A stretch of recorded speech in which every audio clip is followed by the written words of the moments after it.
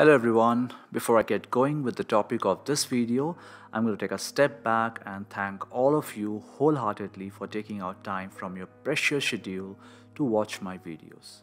The channel has now hit 100 subscribers and I really appreciate the support that I've got so far. This will surely spur me to create content that is useful and interesting for you a lot. Today we'll talk about radio access network functional splits. Though most of our focus for the video will be on 4G slash LTE and 5G slash NR, I want to remind you that functional split is not a recent concept. Close to 20 years back, when we moved from a 2G to a 3G base station, we disaggregated the radio functionality at a cell site and broke one unit into two, namely the radio unit and the baseband unit. The radio unit or the remote radio head contained only the radio functions and was located close to the antenna in the cell site tower whereas the BBU contained all baseband processing functions. Each RRH and BBU pair were connected using a new network segment called the fronthaul. This connection between the two units gave birth to a bunch of proprietary standards like CPRI, OBSAI, and ORI, which essentially defined the communication between the two units. We then moved a step further and centralized this architecture by placing a pool of BBUs at a central location and connecting them to their respective RRHs running fibers for long distances. Even beyond that, BBU pool virtualization introduced the concept of shared processing. It was now possible to share the available processing resources among several sites and allocate extra processing efforts when needed in different areas. With the ever-evolving radio access network architecture based on increasing volumes of traffic expected per user, this fronthaul link was experiencing very high bit rates and becoming non-affordable for network operators.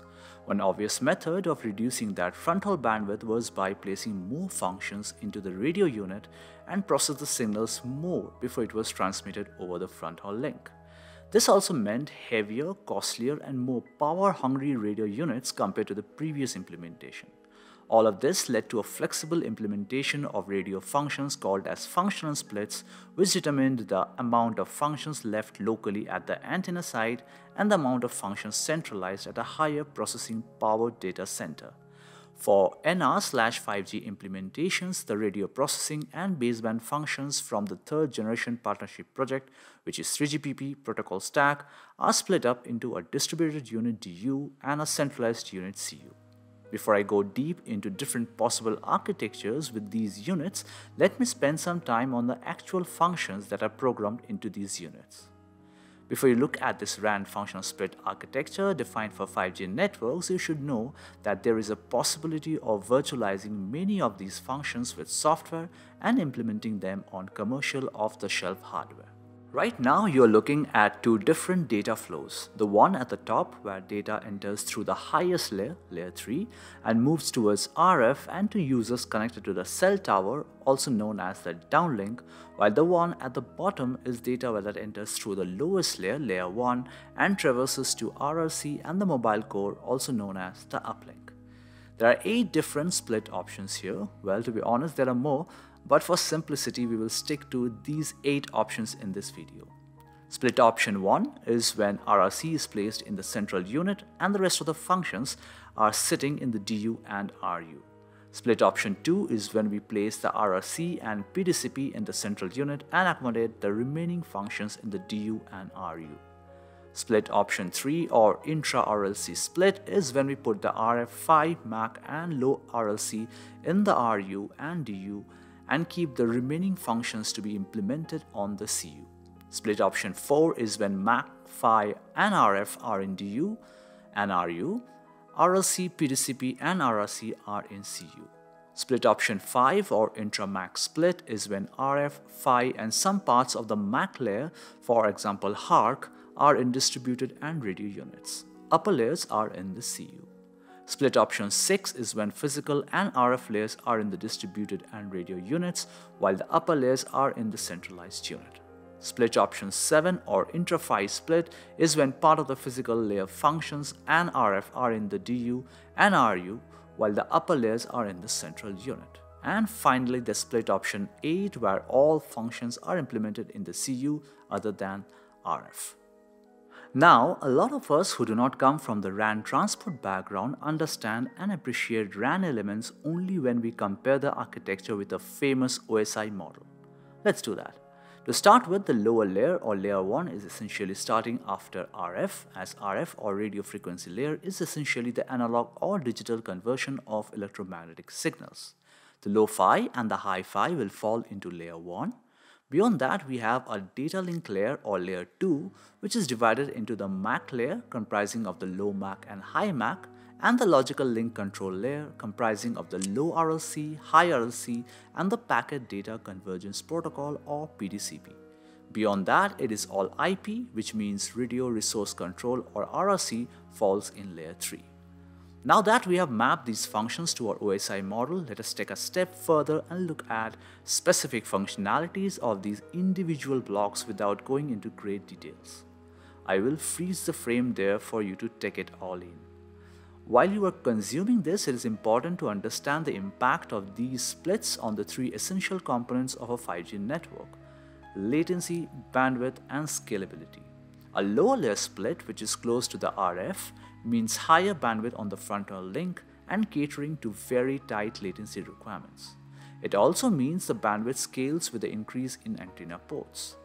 On the other hand, a higher layer split which is close to the PDCP means there's a drastic reduction in bandwidth and relaxation of latency leading to long distances between the CU and the RU. As far as scalability is concerned, higher layer splits scales with MIMO layers. So we have spoken quite a lot about how these splits actually look like. Now it is time to underline the reasons behind functional splits. What are the benefits of implementing a split architecture? As per 3GPP release 14.0 or TR38.801, some of the benefits of these functional splits are 1. Flexible hardware implementations allow scalable, cost-effective solutions. It is now easier to adhere to deployment requirements. Operators can pick and choose where to put functionality on the same COTS hardware rather than staying locked to a hardware-software bonded architecture. A split architecture between central and distributed units allows for coordination for performance features, load management, real-time performance optimization, and enables NFV SDN implementation. Configurable functional splits enables adaptation to various use cases such as variable latency on transport. Finally, virtualization.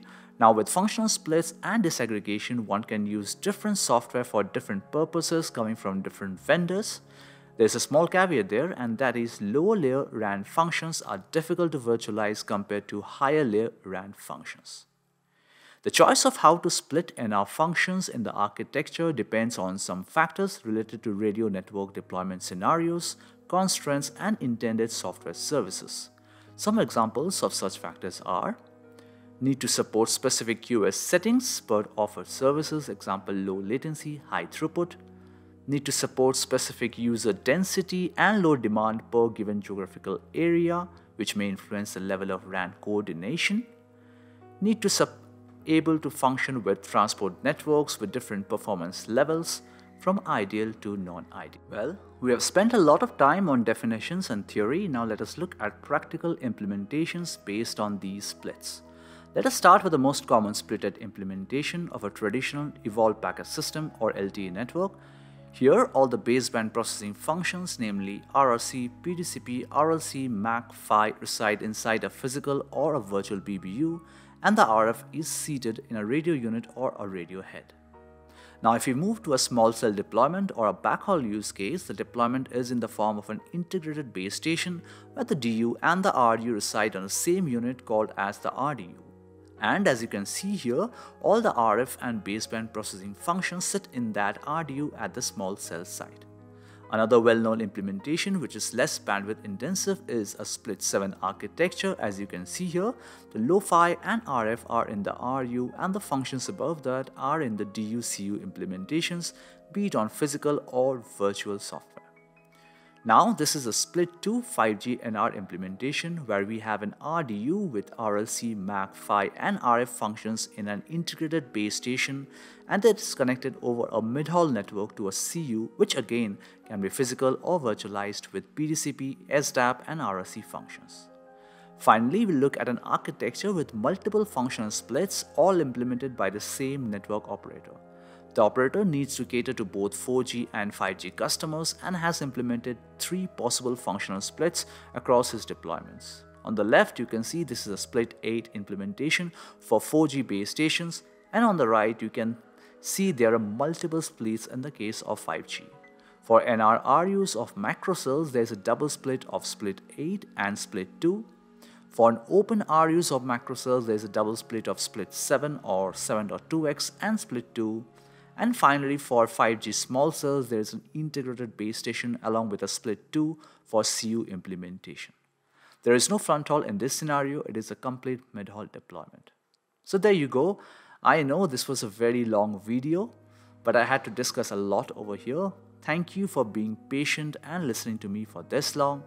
In my next video, I will talk very specifically about the 7.2x split or the open fronthaul deployment. Watch out for that. That's all for now. I'm signing off. You have a great day. Bye bye.